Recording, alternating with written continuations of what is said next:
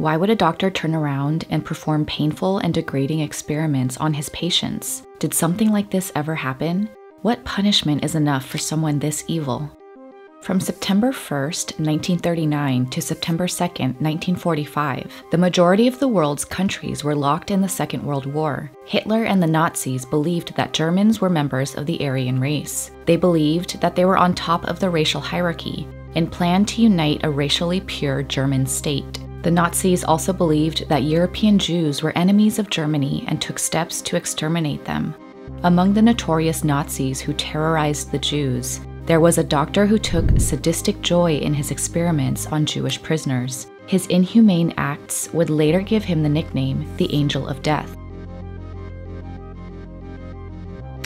Josef Rudolf Mengele was born on the 16th of March, 1911. Mengele's father founded the Karl Mengele and Sons Company, a company that produced farm machinery for milling, sawing, and baling. So, Mengele came from a rather wealthy family. Mengele earned his PhD in anthropology from the University of Munich in 1935. Later, he worked with German geneticist Otmar Freiherr von Verschuer. Von Verschuer had an interest in researching twins. Mengele joined the Nazi Party in 1937 and the Schutzstaffel or SS in 1938. Members of the SS wore a small black ink tattoo located on the underside of their left arm, but Mengele refused to wear the tattoo, not wanting to defile his body. Mengele earned honorable military badges during his time with the SS, but in 1942 he got wounded in action and was declared unfit for active service. After his recovery, Mengele worked again with von Verschuer, who was the director of the Kaiser Wilhelm Institute of Anthropology, Human Heredity, and Eugenics at that time. Von Verschuer encouraged Mengele to apply for a transfer to the concentration camp service. After his application was successful, he was posted to Auschwitz, a labor camp and extermination camp for prisoners of the Nazis. Here, he was made the chief physician of the Romani family camp at a sub-camp in Auschwitz called Birkenau. The SS doctors were responsible for choosing which Jewish prisoners would be fit for labor and which would be killed in the gas chambers. Mengele was not among the SS doctors assigned to select the prisoners, but he chose to do it to find subjects for his experiments. In his time at Auschwitz, Mengele conducted the deadly experiments that gave him the nickname the Angel of Death. He used the Jewish inmates to further his research into heredity. He disregarded the health and safety of his subjects by making use of inhumane procedures that a vast majority of his victims didn't survive. His research focused on identical twins, people with eyes of different colors, dwarfs, and people with physical abnormalities, Mengele received a grant from the German Research Foundation at the request of von Verschuer. Mengele sent reports and shipments of specimens regularly to von Verschuer. The grant was used to build a pathology laboratory at Auschwitz. The experiment of twins was motivated by the Nazi belief in the genetic superiority of the Aryan race. They wanted to uncover strategies for racially desirable Germans to reproduce more twins. Mengele's research subjects were treated slightly better than the other prisoners. They lived in their barracks and ate meals of somewhat better quality. They were also temporarily spared from execution in the gas chamber, mostly until Mengele had no more use for them. There were also children in Mengele's barracks. He would gift them sweets and introduce himself as Uncle Mengele, but these acts couldn't hide how sadistic the Angel of Death was. He killed some of his subjects with lethal injections gunshots, and deadly experiment procedures. Mengele experimented on up to 1,500 sets of twins during his time at Auschwitz. Many of them were children, and most of them died. According to a former Auschwitz inmate doctor, Mengele was capable of being so kind to the children, to have them become fond of him, to bring them sugar, to think of small details in their daily lives, and to do things we would genuinely admire. And then, next to that, the crematoria smoke, and these children, tomorrow or in a half hour, he is going to send them there. For his experiments on twins, Mengele would experiment on one twin and use the other as a control subject to monitor the changes. He would amputate limbs or infect one twin with typhus. Those who survived the experiments were sometimes killed, and their bodies were dissected.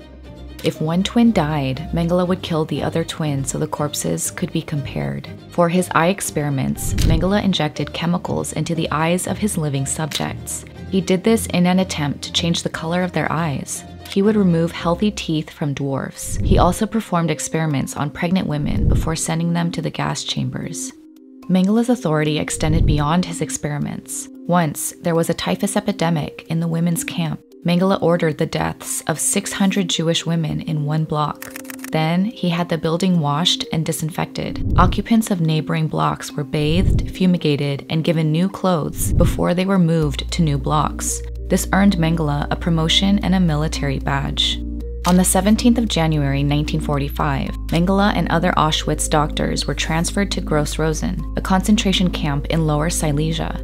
Ten days later, the Red Army of the Soviet Union liberated Auschwitz from Nazi control. Mengele was now on the run from the Soviets. He gave all incriminating documents in his possession to a nurse and kept running from the Soviets. In June 1945, justice would catch up with him for a while when American soldiers captured him as a prisoner of war. However, the Americans were not aware of Mengele's misdeeds. They also couldn't identify him as an SS officer because he did not wear the SS blood group tattoo.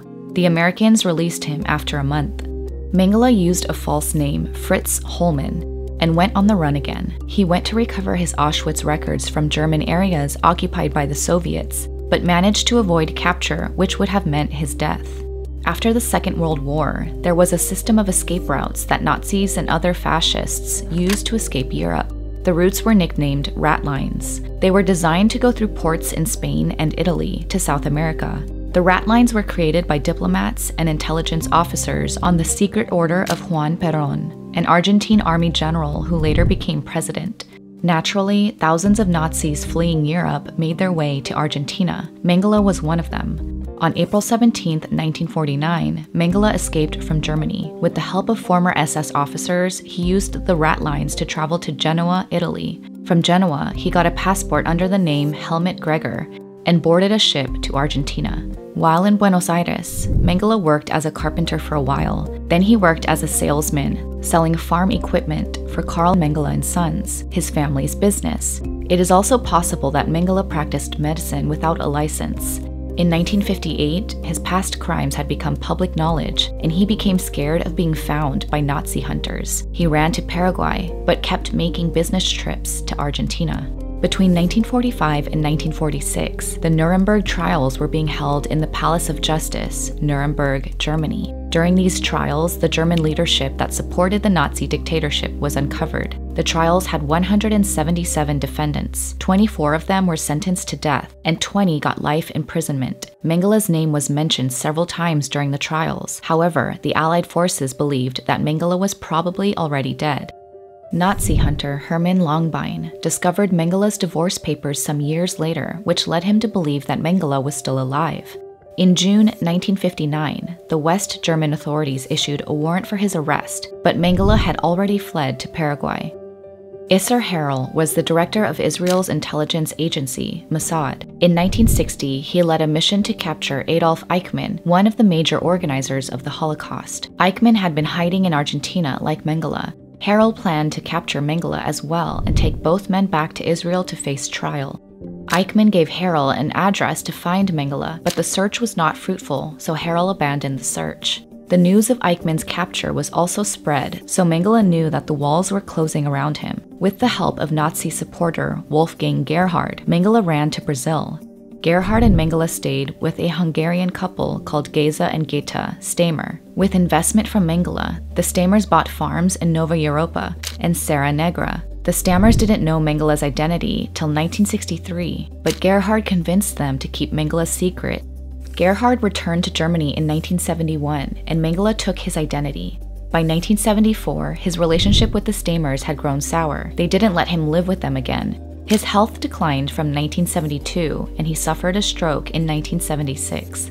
Mengele's son Rolf visited him in 1977. The two had not met since 1956. Rolf noted that his father was still an unrepentant Nazi. Mengele claimed that he had never personally harmed anyone and only carried out his duties as an officer. Mengele was visiting his friends Wolfram and Liselotte Bossert in 1979. He was encouraged by them to go swimming. He had another stroke and died in the water. His corpse was buried under the name Wolfgang Gerhard.